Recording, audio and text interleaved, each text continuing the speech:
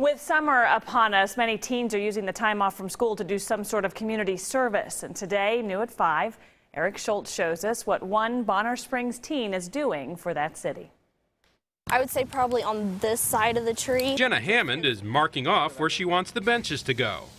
She can give you lots of reasons why Bonner Springs needs its own dog park. I've had people who go, um, we need a dog park. I'm driving all the way out to Shawnee or I'm driving all the way out to Leavenworth. She also thinks a dog park would encourage more people around here to adopt. Fencing, I kind of went the 40 yards. That's why she developed this detailed plan to turn Lions Park into a dog's play haven. The 16-year-old is doing this for her Girl Scouts Gold Award. Make it slanted to it. And partnering with two Boy Scouts working on their Eagle project. Jenna's always had an affection for animals. She adopted Tucker here after he'd been abused. Roll over. But the real reason she's doing this is family. Her younger brother Jacob lives in Wichita, and he has autism. The family is thinking about getting him a therapy dog.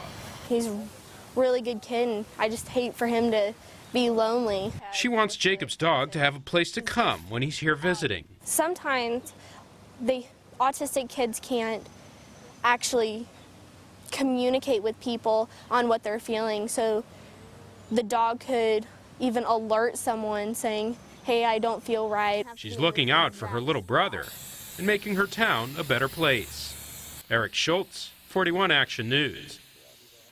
Jenna's plan has city approval as long as she can raise the money for it. She has $2,600 so far, but she still needs another $8,000.